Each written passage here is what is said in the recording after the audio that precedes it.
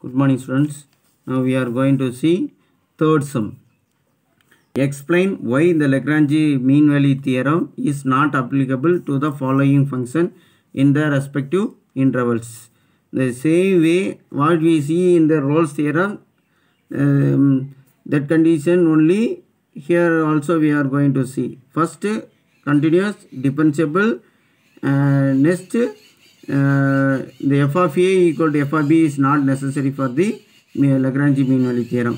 First, uh, first substitution f of x equal to x plus 1 divided by x where x belongs to closed interval minus 1 comma 2. For example, we are going to see in between the minus 1 to 2, we take the value 0. f of 0 equal to uh, substitute in the function we get 0 plus 1 divided by 0 which is equal to 1 by 0 we get the value infinity. When we get the value infinity the function is not continuous. F of x is not continuous at x equal to 0 uh, belongs to the closed interval minus 1 comma 2 second subdivision f of x equal to modulus of uh, 3x plus 1 where x belongs to closed interval minus 1 comma 3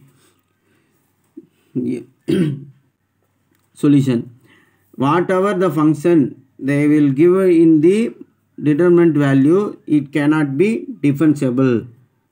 Whatever the function will be given. Don't bother about it. It is continuous but it is not differentiable. So the reason is f of x is not differentiable at x equal to minus 1 by 3 belongs to minus 1 comma 3 open interval minus 1 comma 3